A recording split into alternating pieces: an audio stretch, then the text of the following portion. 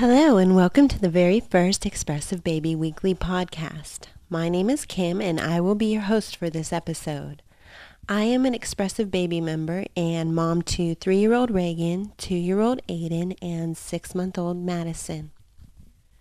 Before I became a mom, I was very active in the workplace, the work world, as a marketing manager for a very prestigious firm. I put in over 60 hours a week, and I always felt that I would be a fantastic mom and remain active in my career as well. In other words, like most women, I thought I could juggle it all with ease. But when Reagan was born, I realized how difficult it was going to be to return from maternity leave back into the high-paced workplace that only months ago was second nature to me. On my first day back, I was sick to my stomach leaving Reagan for over eight hours, and I cried for the entire drive to the office. I was completely unfocused the entire first day on anything except how long it would be until I could get back to my baby. And it didn't get easier for me in the first week, especially when Reagan would be crying as I was on my way out the door. I was really fortunate to have my mother to take care of her while I was at work and while my husband was working, but it didn't seem to make it any easier in leaving her.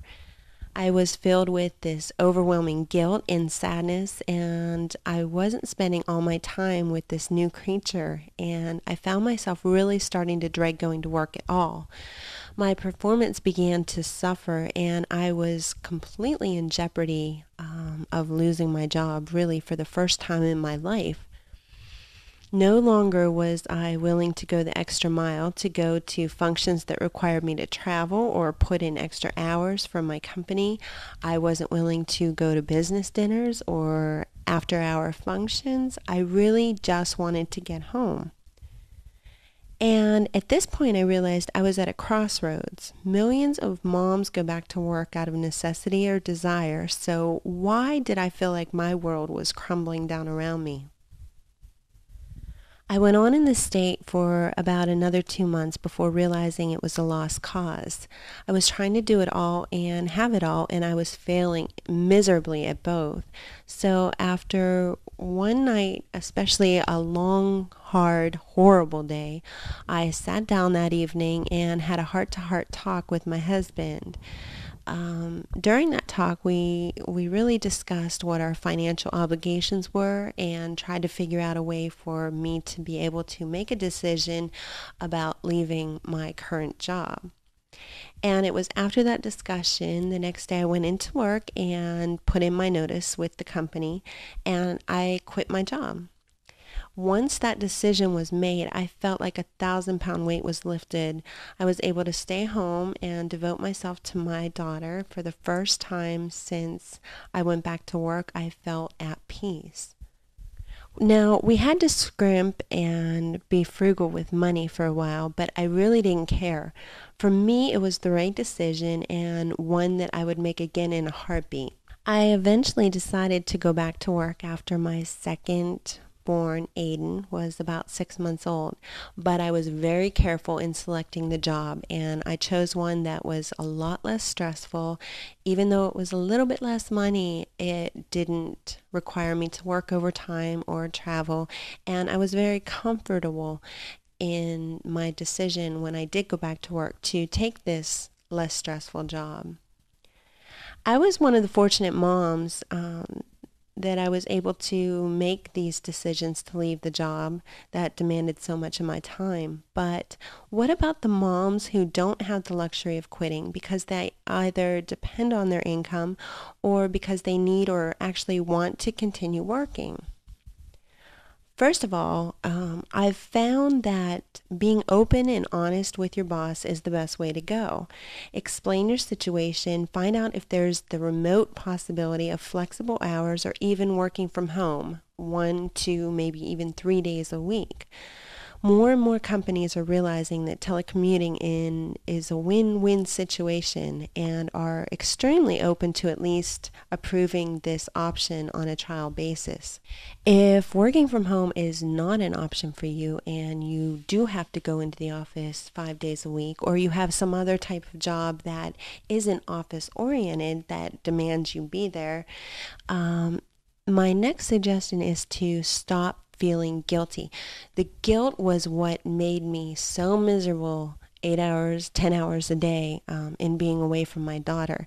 So take a deep breath and stop feeling guilty about the time you're not spending with your daughter. If flex time's not an option, just don't despair. Stop feeling guilty about the time you don't have and just make sure that the time you do have to spend with your new baby is quality time. It's amazing how much the memories of your time together the night before are going to help you through the next workday. Just little things like taking a walk and talking to your baby, um, you know, walk around the neighborhood pointing out different things, really communicating with your baby. That's quality time, and that's going to make a big difference the next day at work in your level of guilt that you feel about leaving. If your job is high pressure and high commitment position, you might want to think about changing to a comparable position, but one that demands less of your time and is less stressful. This was a solution that worked for several moms I know who are much happier at their new jobs. Now, you may have to take a pay cut. You may not. You may just find another company who has flex time, who is open to the fact that you're a working mother, or who offers more vacation time, or, you know, anything like that. Just look for a company that is less stressful and demands less of your time than the current one you work at. Now, if this is an option, send your resumes out immediately. Just the act of sending your resumes out are going to make you feel less helpless, less hopeless, and give you a feeling that you are in control of your life and your job doesn't control you. Now, if none of these are an option and you have to stay at your current job and work the long hours and changing companies at this time isn't an option, then make sure to bring photos of your baby with you to the office. This act alone can help you focus on the fact that you are working to support your child, and that in itself is an act of love and caring drum that into your head every time you look at that photo. It's not the time. Now, if you put that together with spending quality time on the time that you have at home, you're going to feel a lot less stressed and a lot less guilty about leaving your baby. The last suggestion is to understand and be aware that you are not alone. Millions of moms go through the guilt and struggles that you are having at this moment. If you really are at your wits' end, find other moms to talk to that are in the same situation, and you may be surprised what solutions or advice you get from these moms that can help you find an option you may not even have thought of. If you have a question about this podcast or would like to listen to other podcasts, simply visit us online at www.expressivebaby.com slash forums. Visit Expressive Baby to view other podcasts, shop for expressive and unique baby items, or just meet other moms to share stories, recipes, ideas, and advice. Join us next week for our second podcast when we discuss the controversial topic of vaccination pressures, privacy, and practice. See you then. This is Kim saying goodbye and have an expressive life.